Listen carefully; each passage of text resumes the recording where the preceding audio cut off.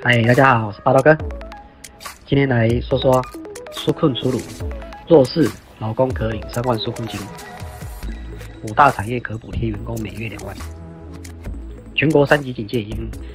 延后到六月十四日，行政院日前已向立法院提出纾困特别条例修正草案，要交码两两千一百亿元，并延长期限一年。行政院在二十六日召开运会拍板纾困四点零原则，将加快对弱势族群、自营作业者、农渔民、游览车、自行车驾驶等纾困补贴，也将立即加强宽列几类业者营运资金及薪资补贴，并加快对财困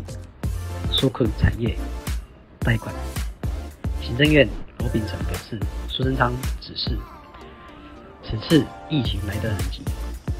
政府要尽快开仓济众，帮助大家一起渡过难关。行政院院会已在二零二一年五月十三日通过《严重特殊传染性肺炎防治及纾困振兴特别条例》修正草案，将预算额度上限调高为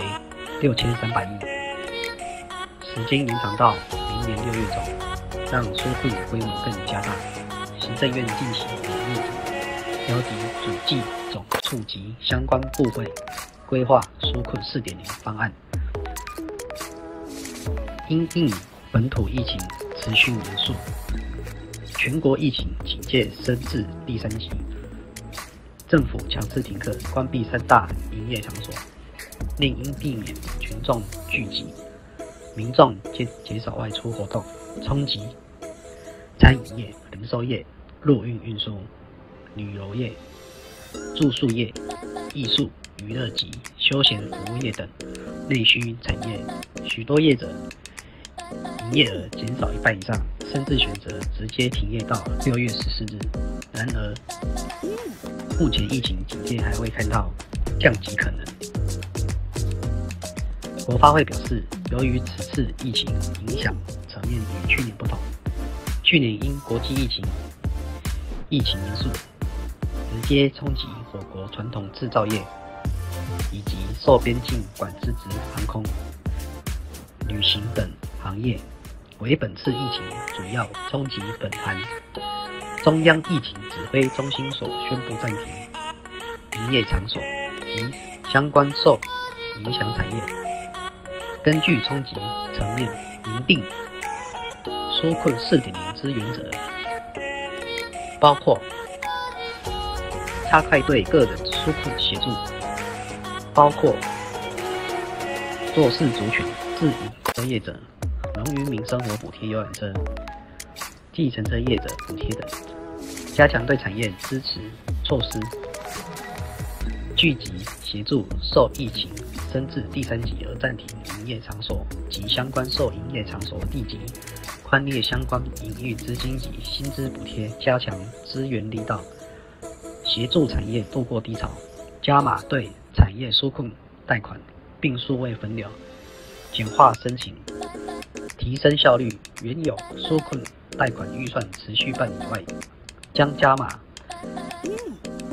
信保融资额度。另另外，通过数位分流、线上办理方式，简化各部会纾困贷款方案之申请流程，提升效率。个人补贴加码，纾困劳工可领到一到三万。龚明星说明，针对个人纾困部分，将关怀弱势，将发生活补助，民众急救纾困。救助金、农渔民生活补助、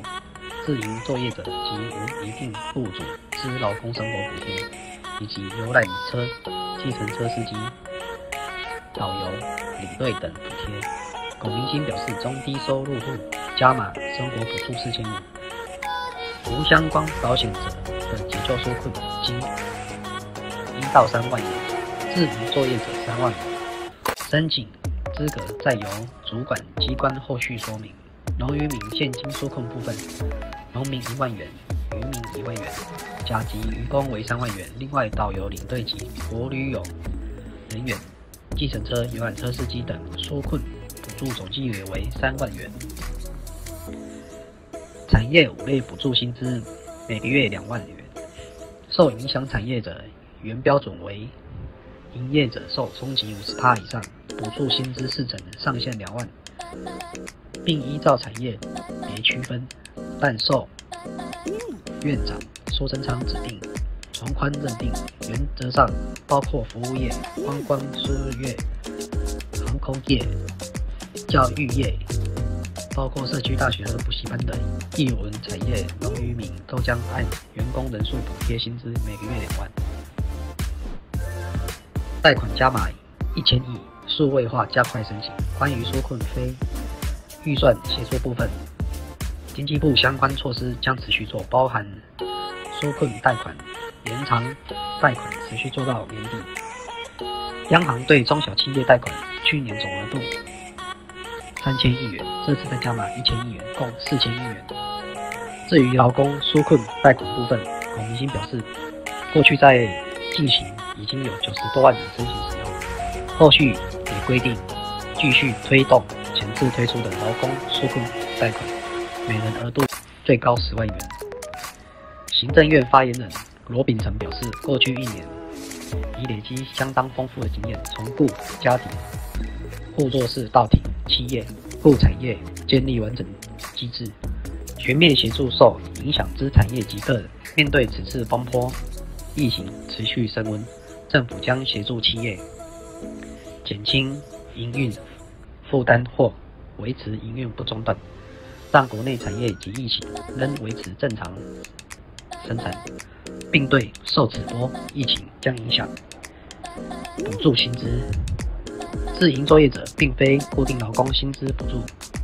以有效稳定国内就就业情形，